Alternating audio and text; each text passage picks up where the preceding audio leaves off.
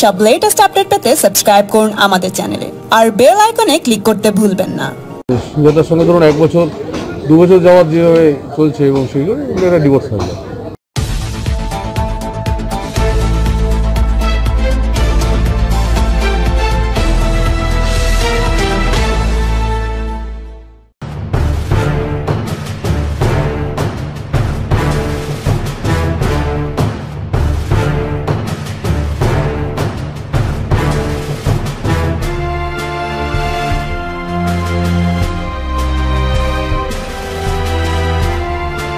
ওটা কিছু পুরোনো কেস ছিল?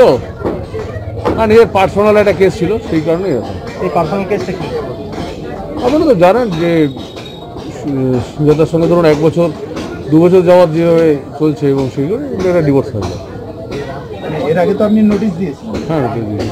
আজকে কি ডিভোর্সটা ফাইল করলেন? হ্যাঁ কতদিন আগে নোটিশ দিয়েছে দিয়েছিলাম তখনই দিয়েছিলাম। বিশেষ জানুয়ারি মাসে দিয়েছিলাম তারপর মার্চ মাসে দিয়েছিলাম। মানে সম্পর্কে টানাপোড়েনটা কতদিন ধরে চলছে? আপনারা তো জানেন প্রায় দু বছর ধরে চলছে। মানে এখন কি আর যোগাযোগই নেই? না না প্রশ্ন নেই ঠিক আছে। আমার একটা পার্সোনাল লাইফ ঠিক আছে ভালো থাকুন। বলছি রাজনীতির কারণে কি নো কমেন্টস আপনারা ভালো থাকুন।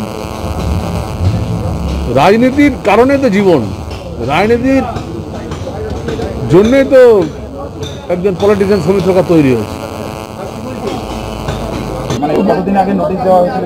দেখুন নোটিশটা হয়েছিল আজ থেকে বছর দুয়েক আগে। এবং নিয়ে অনেক কিছু আপনার নিশ্চয়ই কাগজে আপনাদের কাগজে অনেক কিছু বেরিয়েছিল। আর বাইরে আমি যদি যেতে চাই না কারণ আমার মনেও নেই সব ঘটনা। তবে মোকদ্দমাটা উনি আজকে ফাইল করলেন, সেই ব্যাপারে আমি রিটার্নিং লয়ার আছি।